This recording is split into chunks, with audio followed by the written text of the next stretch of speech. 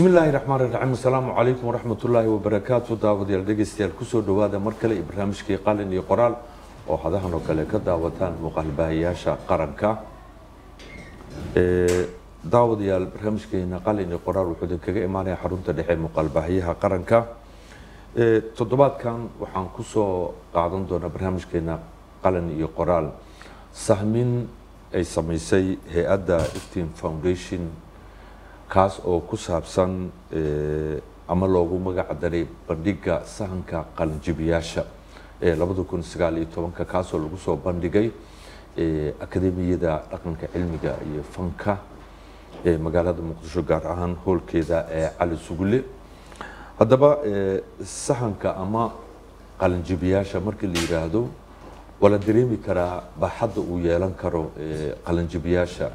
Haddaba bal bandhigan sahanka qalinjibiyaasha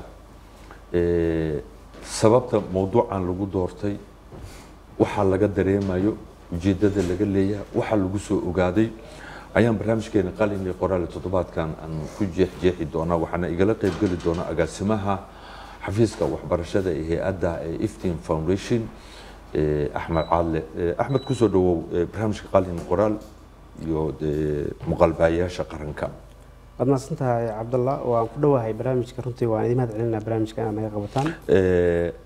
Agaasimo axmed ugu horeyn bal waxaad faahfaahin naga siisaa bandhiga sahanka qalinjibiyaasha. Horta goormaad bilowdeen oo la bilaabay ama la aas-aasay bal inaad sahan ku samaysaan ama cilmi baaris aad ku samaysaan ardayda qalinjibinaysa waad mahadsan tahay cabdalla waa intaan barnaamijkaas gelin. Ka hor waxyar waxaan rabaa inaan ku xasuusiyo iftin waa hay'ad ka shaqeysa waxbarashada. Ma maamusho iskuul iyo jaamacad toona laakiin waxay qabataa adeegyada waxbarashada waxay la shaqeysaa bahda waxbarashada. Waxay shaqeynaysay tan iyo labadii kun iyo labaiyo tobankii.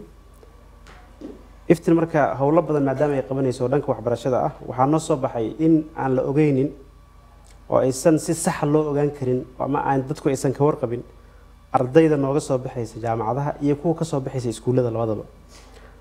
Waxaa laga yaabaa in buuggan intuusan soo bixin ka hor qiyaasta laga haystay oo inta soo qalin jibin karta iyo markii xaqiiqadii la arkay runtii ay aada u kala duwanaatay barnaamijkan waxaa bilowna sannadkii labadi kun iyo lix iyo tobankii. Waa midka hadda aan soo bandhignayna waa kii afraad ama daraasadii afraad oo xiriir ama taxano ah.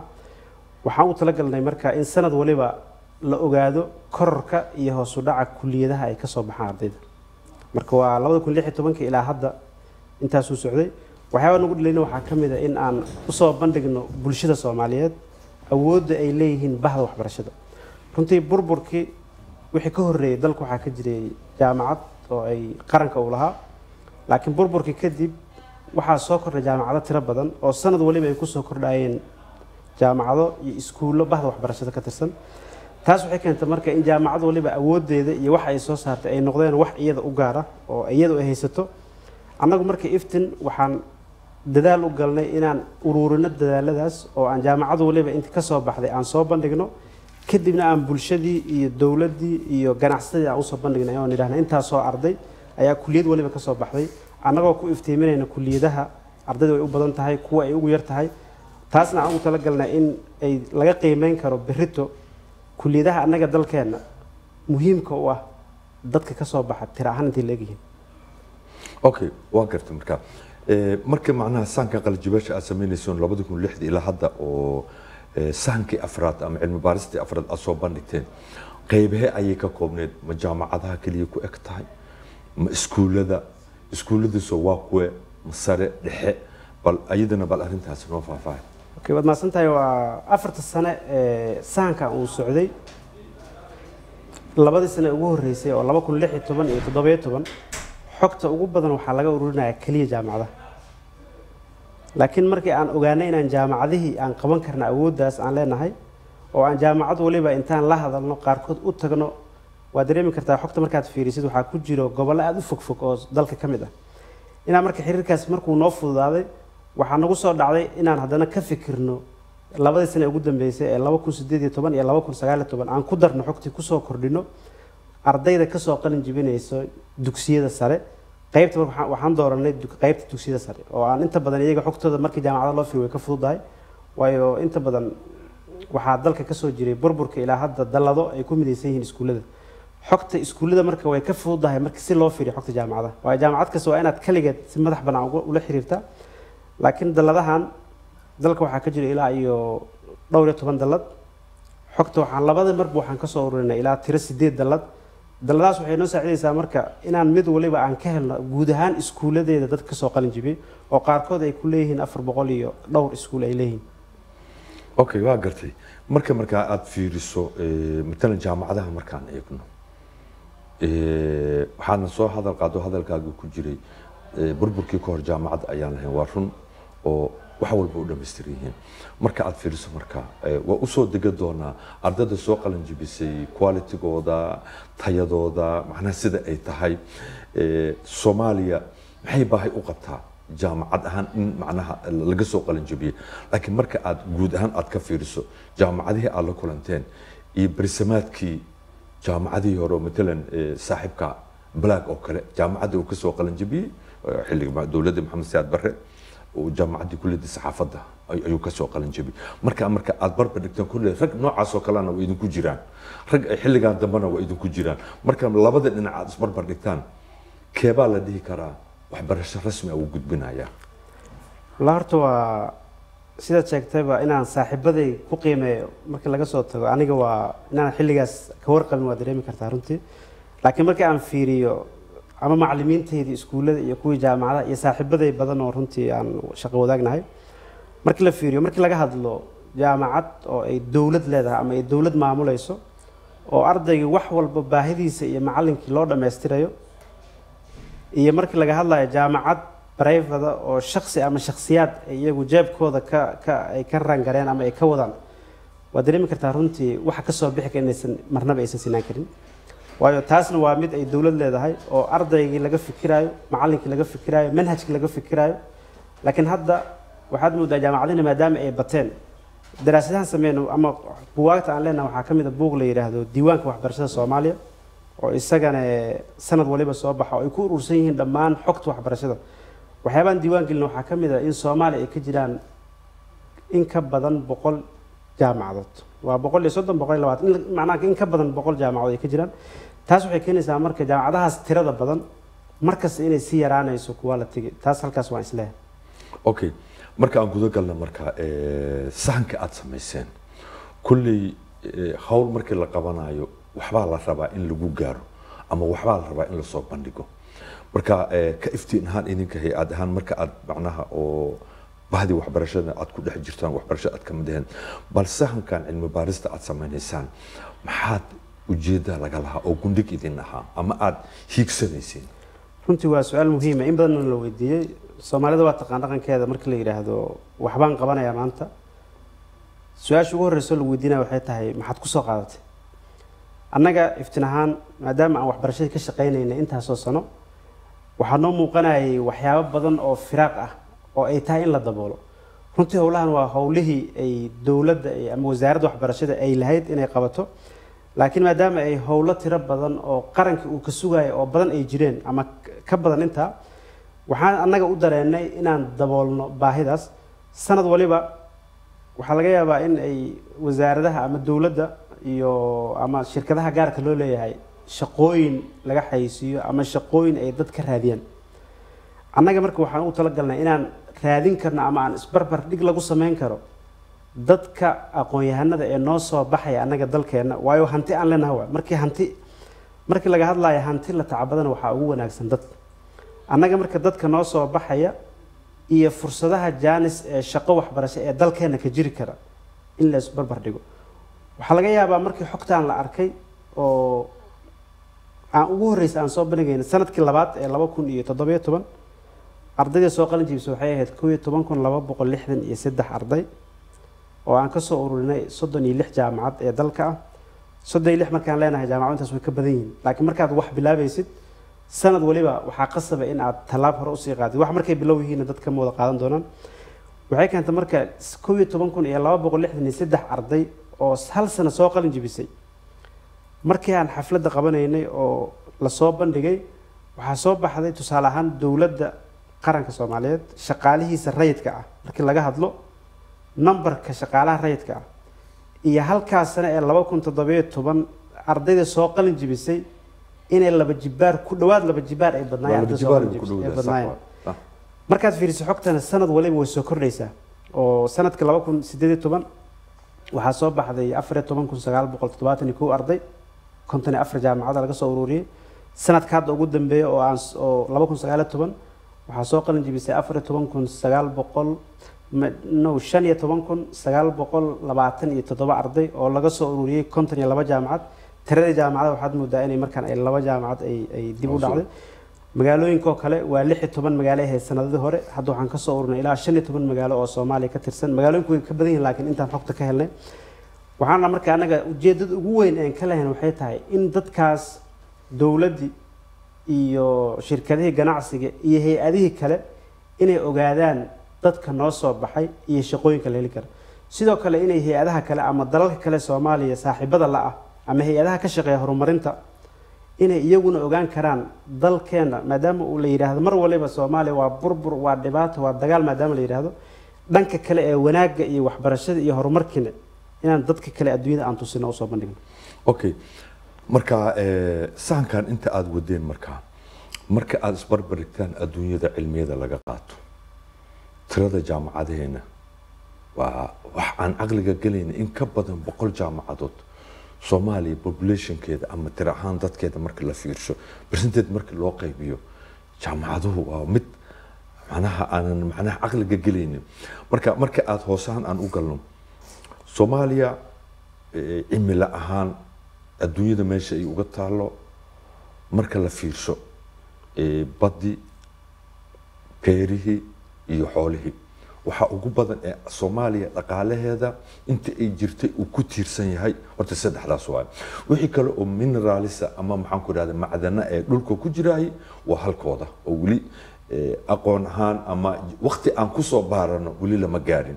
Laakiin inta dowladnimadeena ay jirtay dhaqaalaheena wuxuu ku saleysanaa beeraha iyo badda iyo xoolaha marka marka cimilo ahaan anaga noo fiiriso baahida dhaqaalaheena halka ugu jeesa marka aad fiiriso ardaydii soo qalin jabinaysay inta aad daraasadan wadeen ma ku jiraan qaybahaas dhaqaalaha anaga dhaqaalaheena ama danta noogu jirto inaan u helno aqoon-yahano ma ku jireen?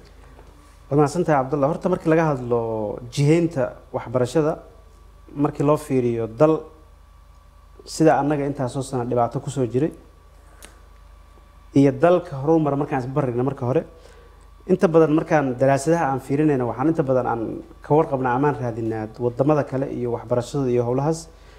Wadamada qaar waxaan dareemaynaa in waxbarashada siyaasadda waxbarashada ay jihayso dowladdaas ama wasaaraddaas waxbarashada ee dalkaas oo la yidhaahdo tusaale ahaan jaamacaddan ay og tahay inta tirada oo ay ka soo saari karto kuliyadda ay markaas jaamacaddu u baahan tahay. Waxyaabaha aan aragna waxaa ka mid ah oo waddamada horumara qaar ka dhacay sanadaha qaar in la yidhaahdo kuliyaddaas jaamacadaha lagama dhigi karo waayo dadkii loo baahnaa ayaa la helay. Kuliyado kale la yidhaahdo waxaa lacagtooda iyo kharashka bixinaya dowladda waayo dowladda waxay dareemaysaa in loo baahan yahay dad ka soo baxa kuliyadahaas marka annaga maadaama aan intaasoo sano oo aan firaaq ama gaab ama aan ku soo jirnay dib dhac waxaad dareemaysaa halka aan ku naal waa sax oo annaga dhaqaalaheena wuxuu ku tiirsan yahay saddexdaas sheegtay oo xoolaha badda iyo beeraha inkastoo aan macaadin badanna leenahay waxyaabaha aan aragnay intaan sameynaynay saddexdiis afartii sane aan sameynaynay barnaamijkan oo sahankan waxyaabaha ugu badan aragna waxaa ka mid ah dadka soomaali inay yihiin dad jecel inay kursi wareega ku fadhiistaan markaad bugaagtay ama daraasadii aad dib u fiirisid waxaad arkaysaa sanad waliba saddex kuliyada ugu horeyso iyagaa isbedelo laakiin saddex kuliyad ayaa sanad waliba kow laba saddex kale ah waxaa ka mid a business. Waxaa ka mid a public administration howlaha guud. Iyo waxaa ka mid a kuliyadda la yidhaahdo i t-ga ama computerka. Markii soomaaliya laga hadlane tusaale ahaan saddexdaas kuliyad markii la isku celceliyo afarta sano waxaa ka soo baxday in ka badan toban ar toban kun oo arday bay ka soo baxday. Tobankaas kun ee arday ka soo baxday suuqa markay yimaadaan way huban tahay inaysan helayn shaqaday u soo barteen. Halka markaad hoos fiirisid oo aada xogta hoos ka fiirisidna kuliyadaha ugu yar ay runtii ay tahay saddexda kuliyad ama saddexda qeyb ee dhaqaalaheena ay ku tiirsan yahay oo xoolihii iyo baddi iyo beerihii ah. Intaas waxaa ka sii dheer iyadana oo aada aada u dareemi kartaa inaysan lagu badnayn kuliyadda waxbarashada marka runta laga hadlo waxbarashadu ama macalinimadu ma ahan in wax la yaqaan la gud laakiin waxay u baahan tahay farsamo loo gudbin lahaa. Waad ogtahay kuliyadda waxbarashada waa kuliyadda ugu muhiimsan ee ay tahay dadku inay ka dhismaan. Waayo ninkan markuu soo barto waxbarashada ama educationka waa ninka bulshada kale waxbari lahaa. Waa daawada lagu daaweyn lahaa. Waxaa dareemaynaa marka maanta arday ka soo baxday public administration ama kuwa caafimaad ka soo baxay ama kuwa i t ka soo baxay inay markay wixii ay soo barteen ay suuqi ka waayeen inay u noqdaan macalinimada iyagoon soo baranin Marka hore aan soo baranin ay ku noqotay. Marka waxyaabaha runtii ay aada in la xusa ay tahay waxaa ka mid a hadda xafladdii noogu dambeysay aan qabanay sagaal labaatanka bisha july oo nagala soo qabalay oo nagala soo qeyb galay wasiiru dowlaha wasaaradda waxbarashada jaabiri waxyaabaha uu aada u taabtay waxaa ka mid ah inay muhiim tahay ama siyaasadda dowladda siyaasadda wasaaradda waxbarashada ay tahay in laga fikiro ardayda noo soo baxayso la jaangoyo oo la yidhaahdo lagu dhiirogeliyo la yidhaahdo kuliyadaha noocaasa waa in ardaydu ay bartaan. Waayo annaga haddii dhaqaalaheeni meeshii uu ku tiirsanaa aan ka tagno annaga i t iyo business iyo public nama wada deeqi karto. Laakiin xoolaheenni iyo baddeenni intaas u weyn iyo beeraheenni waxaad dareemaysaa in dadka ay ka jeesteen oo aysan u soconin. Marka taas waxaan is leeyahay anay ahaantayda dadka soomaalida ma ahan dad inay iyagu ay wax qabtaan jecel laakiin waa dad inay inta meel fadhiistaan ay wax maamulaan jecel. Okay marka eh, maadaama aad eh, sahanka intaas aad wada ama cilmi baarista eh, arrintii baahida aan u qabnayna ay sidaa tahay marka aad fiiriso ciladuma waxay ka socotaa rabitaanka ardayga oo marka horeba xulanaya jaamacadda mise waxay ka socotaa jaamacaddii laftirkeeda. Ayaanba diyaarin macnaha qaybtii ama facultigii eh, xanaanada xoolaha beeraha iyo kalluumaysiga ma iyaganba jaamacadihi ayaanba diyaarsanba oo macalimiintii cilmigaa gudbileed ayaan jirin. Mise waxaa liidata doorashada ardayga. Marka aad fiiriso marka marka cilmi baarista aad wadeen labadaas dhinac xageeba cilada ka socotaa? Wallaahi waa cilladda waxaan is leeyahay horta doorashada ardayga waa tan ugu horeysa. Annaga inteena badanne ardaydeena markay dugsiga sare ka soo baxaan waxaad moodaa marka ani soo qalin jabin inaan idhaahdo saaxiibkay codka kuliyaddaas doortay ana aan la doorto. Waxaa laga yaabaa inuu isaga ku fiican yahay laakiin ani aanan ku fiicnayn maadooyinka basic ah marka jaamacadihiina iyaga runta marka laga hadlo waa jaamacad loo furay in dadkii wax la baro isla markaasna dhaqaale laga sameeyo oo ardayda lacag laga qaado.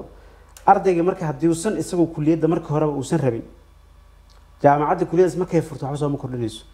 Marka waxaan is leeyahay labada ardaygii iyo jaamacaddii lafteeda haddii dhiiragelin sameyso iyo wasaaradda waxbarashada oo intaasoo dhanba u ah hooyadii waxaan is leeyahay haddii la iskaashado oo la yidhaahdo jaamacadaha waa inay kuliyadaha noocaasa bixiyaan.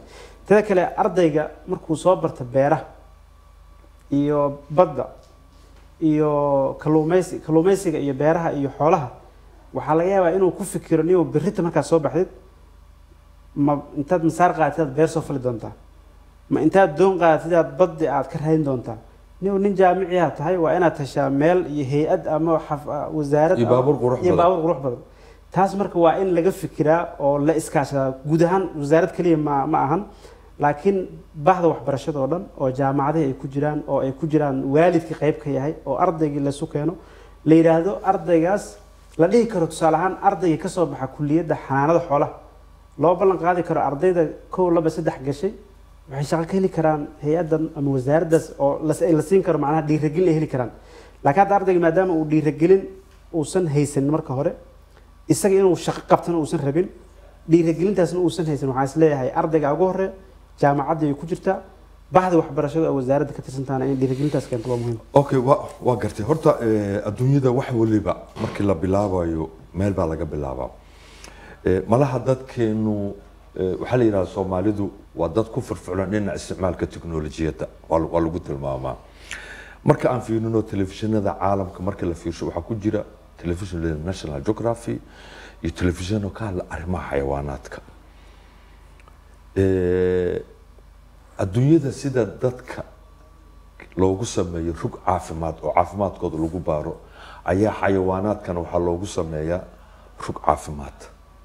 Oo qofkii neef ka xanuunsado ama uu soo wacayaa rugta ama uu keensanayaa inkastoo xayawaanaadka qaarkood dhaqankooda anigu iyo dalalka yurub aan ku kala duwanahay marka horta way ficnaa lahayd in macnaha saa la sameeyo. Marka marka aan fiirino maanta soomaaliya waxay ku qasban tahay inay la jaan qaado horumarka adduunyada ay gaaraan maadaama lagu jiro xilli soo kabasho Eh, adduunyada waxaa jira maadooyin aada looga tixgeliyo. Matalan maadooyinka la yidhaha physicska waxa lagu isticmaalo ama maanta adduunyada technologyda laga sameeyo waan ognahay. Chemistryga sidoo kale biologyga sidoo kale horumarada laga sameeyo ama waxyaabay ku xiran hadday noqoto daawooyinka hadday noqoto hubkaan hadday noqoto farsamaynta arrimaha kale oo electroniga ku saabsan waa waxyaabaha budhiga u ah. Marka inta cilmi baarista aad sameynayseen ma jiraan jaamacado lagu barto cilmigaas. Markii jaamacadda ummadda oo inta aan ogahay facultiyadaas leh oo biochemical iyo math iyo macnaa physics oo israacsan ah markii laga soo tago Eh, jaamacadaha kale oo boqolka iyo ka badana inta aad ku ogaateen ma jiraan jaamacado eh, cilmiyadaas bixiya? Wanaagsan tahay way jiraan jaamacadaha runtii oo cilmiyadaas bixiya. Laakiin cilmiyadaas markii la barto adduunyada horumarta siday u isticmaasho iyo annaga sidaan u isticmaalno waa kala duwanta. Sa? Waayo iyagu waxay haystaan dhaqaalo way haystaan waxay haystaan awooddii leeyihiin wax kastay u baahan way ku samaysan karaan. Laakiin annaga dadka kawaadirta noo ah ee cilmigaas laga yaaba inay xilligii hore ee jaamacadda ummaddana ay barteen ama ay dibadda ku soo barteen waa dad yar. Qalabkii iyo agabkii iyo laabkii loo baahnaane runtii dalka kama jiro jaamacadaha kama jiro. Annaga hadda sida aan ognahay inta badan jaamacadaha kuliyadaha ay leeyihiin waxaa ka mid a kuliyadda waxbarashada. Afarta maade hadda aad sheegtay iyagoo laba laba isu raacsan oo physics math israacsan iyo biochemistry israacsan way bixiyaan jaamacadaha in badan oo ka mid a runtii. Laakiin waxay u bixiyaan inay ka tirsan tahay kuliyadda waxbarashada oo qofkii ardayga ka soo baxa labadaas waa ardayga ugu horreeya ee u sharaxan inuu macallin noqdo. Oo physics math uu jaamacadda ka soo bartay waa inuu iskuul ama jaamacad ama goob kale uu macallin waxbarasho oo labadaas maado uu ka bixiyo uu noqdo. Labada kalena sidoo kale iyagana ay bixiyaan marka markii loo fiiriyo dunida si ay u isticmaasho ama ay u adeegsato iyo annagu runtii waan kala duwannahay waxyaabaha qeybta kaana waxaa ka mid a inta sane aan ku soo jirnay. Waxaa laga yaabaa dowladdii dhexe ilaa hadda haddii ishaysan lahayd macnaha oo sidaas ay dowladnimadina u jiri lahayd way huban tahay inaan meel intaan ka fog aan gaari lahayn laakiin gaabkaas yimaada wax badan ayuu naga dayacay oo aysan noo suurtagelin. Okay. Eh, sida aad eh, laga warqabo eh, magaalada muqdisho iyo gobollo kale oo dalka ku yaalla waxaa jira dhalinyaro hal abuur farsamo la yimid. Matalan magaalada muqdisho waxaa jira nin alifay diyaarad daroon ah. Waxaa jira cadaado dhankaasi nin kaloo diyaarad alifay. Waxaa jira nin alifay si macmal u alifay mashinka xilligii corona oo aada noogu kacsana mashinka maxaan ku dhahdaa neefsashada oo manual ah waxaa jira wiil kaloo dhinaca iyo ceelasha biyahan u malaynaya asaguna ka sameeyey eh, mashruuc korontada macnaha lagu dhaliyo maxaan ku dhaha digaaga ukunta lagu dhaliyo oo iyo waxba loo isticmaala waxyaabahaas kale marka aad fiiriso ma is leedahay eh, inta cilmi baaristiinii oo aad ku- aad ku guda jirteen oo qoraalkaas aad wadeen dadkaasi waxay mudnaayeen in loo furo jaamacado ama aqoon kororsi loo sameeyo oo cilmiyadan hadda aan sheegin matalan physicskoo kale ayay la xiriiraan hadda waxyaabahaas la sameynayo oo waxyaaba hoostegaya barashada physicska runtii waa arrin aada u muhiim ah.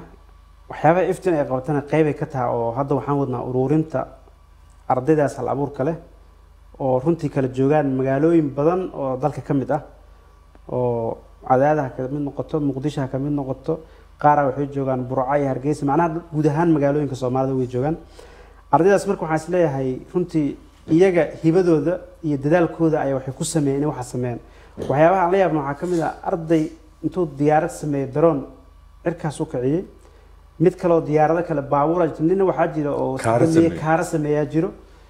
Kuwa waxaa jira diyaarado kaleoo caadi inta la inta la koro soconaya inkastoo aysan duulayn sameeyey runtii ardaydaas marka waa dad hal abuur fig iyo fikir leh runtii waana aada iyo aada ay u mudan yihiin ama u habboon tahay inay la garab istaago oo hadday noqoto jaamacad hadday noqoto hay'ad hadday noqoto wax kale waa dad u baahan in la sii horumariyo markii laga hadlo arrimaha ku saabsan physigiska iyo maathka oo kale oo arrimahaas ay la xiriiraan waa way habboon tahay hadday suurtogeli karto in loo heli karo jaamacad ama xarun lagu sii horumariya aqoontooda. Waayo waxaa qasab ah adduunyada inta wax la sameeyo waxaa sameeya bani aadam waxaa laga yaabaa annaga dad badan oo dhalinteena ka mid ah hadday haysan lahaayeen ardayga jooga maraykan iyo china waxuu u inay wax ka badan ay sameyn laha way huban tahay. Laakiin waxaan saacidin weli waqtigi. Marka taas way habboon tahay waana ku talinaynaa in haddii la heli karo barnaamijkaas horumarintooda oo inta keligood facultigaas meel loo dhiso ardayda hal abuurkaas la isugu ururiyo barnaamijkaas ay sameeyaan. Okay agaasimo caadle marka aad fiirso inta aad daraasadan awadeen qoraaladii aad sameyneyseen oo aad ka diyaarinayseen oo hadda kii ugu dambeeyay labada kun sagaal iyo tobanka oo sagaal labaatankii bishii hadda naga dhamaatay aad soo bandhigayseen qoraaladiina wax tale ah oo wasaaraddii waxbarashada ku jihaysan iyo wax bulshadii lagula hadlaayo ma ku jireen? Ha way ku jiraan runtii. Sanad waliba marka aan buugga soo saarno oo aan soo qiimeyno hadda buuggan ugu dambeeya markaad aragtid waxaan ku soo ururinay. Saddexdii sane ugu dambeysay isbarbardhig laba kun toddoba iyo toban iyo toban iyo laba kun sagaal iyo toban. Isbarbardhig aan isbarbardhigayno kulliyad waliba saddexdan sano intii ka soo baxday aan qorayno aan qorayno jaamacad waliba oo ka tirsan xogtan saddexdii sano ardayda ay soo saartay. Guud ahaan marka buugga uu dhammaadane waxaan hoos ku soo qornaa oo aan la wadaagnaa runtii bahda waxbarashada wasaaradda ugu horeysana talooyinka ay iftin soo jeedinaysay oo ay qeyb ka tahay in kuliyadaha annaga dalkeena u baahan yahay maanta oo dhaqaalaheena uu ku tiirsan yahay. Inay ardaydeena ay bartaan intii iyagoo ka soo baxay i t iyo kuliyado kale ay shaqo la'aan magaalada ku ahaan lahayn ama ay tahriib ay ku fikiri lahaayeen. Marka talooyinkaas waa talooyin aan u soo jeedino waalidka waa talooyin aan u soo jeedino dadka kawaadirta ah ama dadka aqoon-yahanka soomaaliyeed ah iyo talooyin aan u soo jeedino jaamacadaha oo laftooda inay ka fikiraan arday soo saareen. Waayo adiga dad maanta aada soo saartid kulliyad aan suuq lahayn oo ardayga birita uusan suuq heli karin laftaadi wax meesha aada weyna soo aada bedesho ma lahan. Wasaaradda lafteeda waxaan u soo jeedinay annagoo runtii aadna wasaaradda uga mahad celin inay wada shaqeyn fiican naga dhexayso inay maadaama ay wasaaraddii iyo hooyadii waxbarashada dalka lagala tashanaya ay tahay inay iyadoo halkaas wax ka tix raacaysa ay ku jaangoyso ama ay ku dejiso siyaasadda. Runtii wasiiru dowlahana waxyaabuhu meesha ka sheegay shirka waxaa ka mid ahaa in hay'addan iftin waxyaabaha ay soo saartay ay wasaaraddu garab ka siin doonto isla markaana siyaasadeeda waxbarashada ee ay dejin doonto ay ku saleyn doonto waxyaabahan qeyb ay ka noqon doonto iftin waa hagaag aada iyo aad ayuu u mahadsan yahay kaasi wuxuu ahaa agaasimaha xafiiska waxbarashada hay'adda iftin foundation axmed cadle oo toddobaadkan barnaamijka qalin iyo qoraal marti igu ahaa oo aan mawduuca aan ku jeexjeexaynin wuxuu ahaa sahankii qalinjibiyaasha ee labada kun iyo sagaal iyo tobanka daraasadaas oo ay sagaal iyo labaatankii bishii aanu ka soo gudubnay ee luulyo ay ku soo bandhigeen magaalada muqdisho. Daawadayaal midkaa mid la mid intaan ku kulmi doono dhammaan anagoo isku duuban waxaan idin lehay sidaa iyo nabadgelyo waa.